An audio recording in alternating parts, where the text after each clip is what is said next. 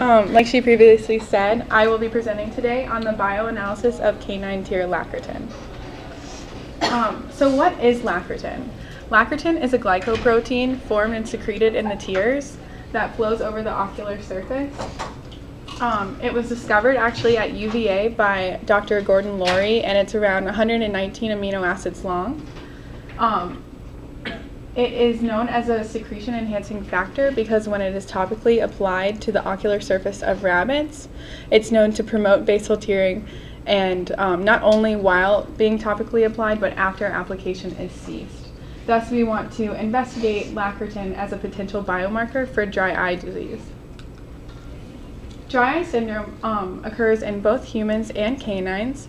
It is a chronic disease and therefore requires treatment throughout the patient's life. However, efficient treatments are not really out right now. Most treatments will only alleviate symptoms for a couple of hours, and so there is a big potential for um, a therapeutic that's more effective for treating dry eye syndrome.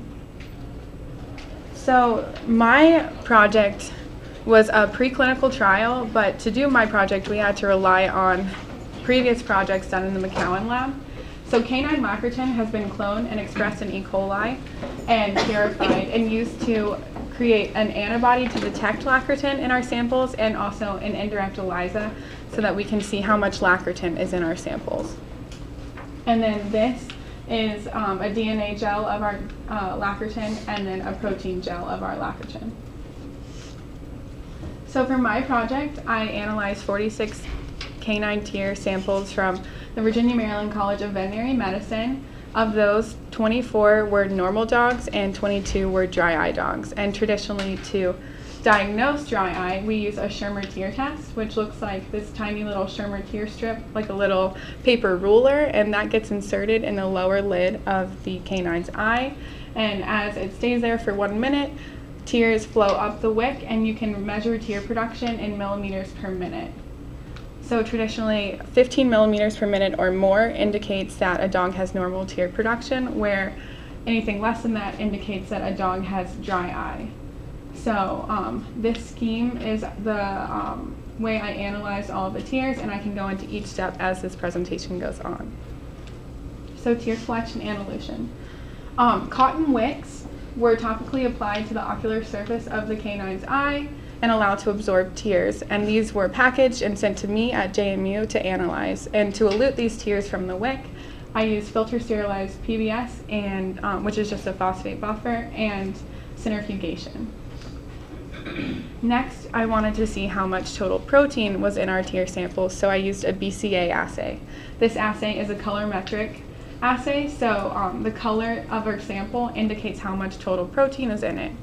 So samples like this that are lighter green indicate a low concentration of total protein, where samples that are a darker purple indicate a higher concentration of total protein.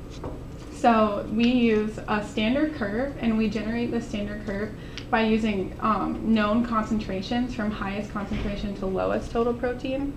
And by doing that, we can find the absorbance of these and generate our standard curve and then find the absorbance of our unknown samples backtrack that and find the concentration of total protein in our samples. Um, and then next, we wanted to see how much total lacritin was in our samples. And so we used a similar style assay, which was an indirect ELISA, which is also a colorimetric assay, um, where dark yellow signifies a high total lacritin concentration and a low, uh, a low concentration of lacritin was indicated by a clear like lighter yellow color. Again, we generated our standard curve from our known concentrations of lacritin, found the absorbance of our unknowns, backtracked, and found our lacritin concentration in our samples.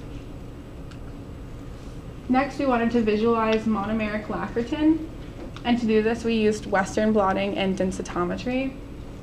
Um, the way the Western works is it's a variation of the ELISA where we use SDS PAGE to separate out our protein, we transfer that to a membrane, and then we challenge that membrane with antibodies and use a chemiluminescent reaction so that we can visualize solely lacritin. Um, this is a, an example of what a Western blot looks like. Monomeric lacritin is about 18 kilodaltons, so this is where that is. We have N at the top where we have normal samples, and DE where we have dry eye samples. These are our molecular weights. This is our Schirmer tear test value, which shows um, tear production in our canines, and then our lacritin concentration as determined by the ELISA.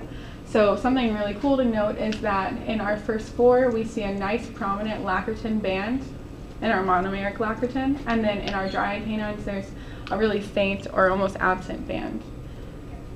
So next we did densitometry to analyze the relative intensity of solely the monomeric lacritin band. And we just do that with a program in our um, lab. So what does that all mean? So if we just look at this graph, I've plotted our, our Schirmer tear test values versus our total tear protein. And blue signifies the average dry eye total tear protein and red signifies the average normal tear protein.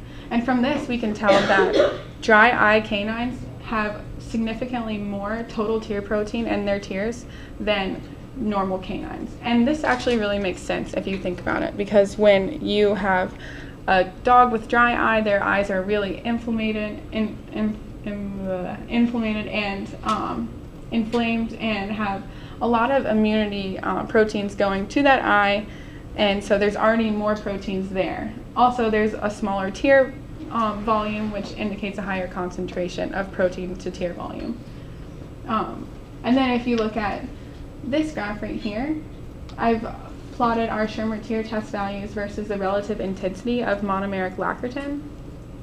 And so again, blue signifies our average monomeric lacritin relative intensity, and red signifies our average monomeric lacritin relative intensity for normal. This one's for dry eye and this one's for normal. And from this, the key takeaway is that uh, dry eye canines have significantly less relative intensity for monomeric lacritin banding um, than when compared to normal.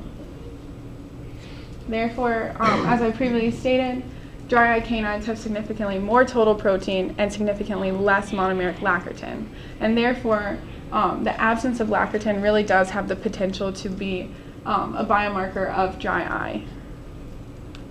So in the future, actually this summer, we are going to be moving to human clinical trials and we are going to be looking at 200 patients and getting four samples from each patient. patient. So we're going to be assaying about 1,200 samples this summer. And so hopefully in the future we can bring this to market as it has topical applications in both humans and canines.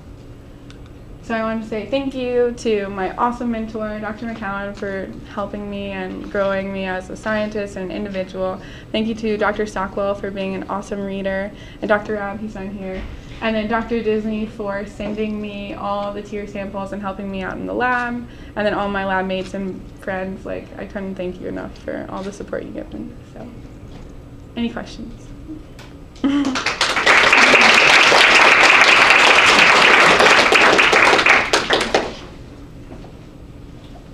So initially you've identified as a biomarker and now you're transitioning toward therapeutics, is that what? Yeah, so we want to look at, uh, we're actually having a synthetic um, lacritin uh, protein made so that we can test it more efficiently um, for its applications as a therapeutic instead of just a biomarker.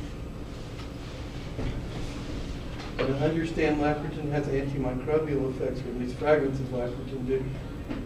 Does it have a lubricant role?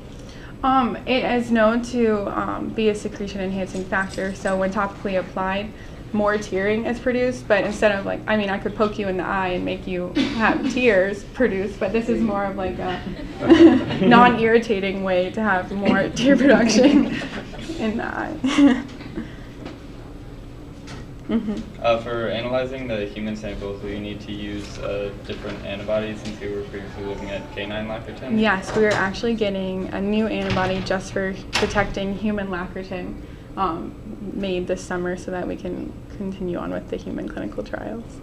Good question. Is there much variability in the mammalian lacritin from? Um, there is, but not enough that human um, antibodies against human lacritin, they detect canine lacritin. So they're all orthologs of each other. Um, could you just collapse your data down to be percentage of lacritin per total protein? Yes, I think so. Um, yeah, you could take like I'm just From the for- ELISA? For a, for a biomarker, you, you probably just want to choose one thing. So if you're, you're measuring those two things, then you could say this is a threshold level, right? Mhm. It's this percentage of protein out of total or something like that. Yeah, that's what we we actually graph it, um, like nanograms of lacritin per nanograms of total protein. Okay, yeah, so you do that already. hmm And um, for the ELISA, we actually had a hard time this time because some of the canines were actually on treatment, and so we thought that that might inflate SCT values. We started having dogs that were previously diagnosed as dry eye come in with SCT values higher than traditional 15 millimeters per minute or under, and so uh, future studies should be conducted to really look at lacritin concentrations in canines not on treatment, also. How much do you think it would cost for a lacritin replacement therapy for a dog? I don't know. That's what, I wonder if pe- like people would pay for that for their animals. I know I People would. pay for chemo. Yeah. yeah, my parents gave my dog chemo one time, so. Is- Fifty percent of the pets in the United States get uh, Christmas presents, so. Mine do, and birthday presents. Katie's dog, not Katie's dog. Kenzie's dog gets uh, a cake. Yes. and donuts every day.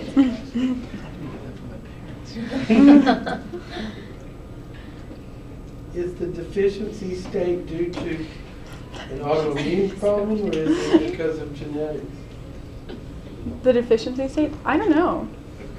I, that's a really great question. I really don't know. Do you know, Dr. McKown? That's actually a very good question. They're trying to figure that out. There are some genetic components to it. Uh, Sjogren syndrome itself is an autoimmune disease uh, that attacks the lacrimal gland. So it has a secondary effect of dry eye, uh, probably because of the autoimmune effect. But there is a genetic component that people are trying to figure out right now.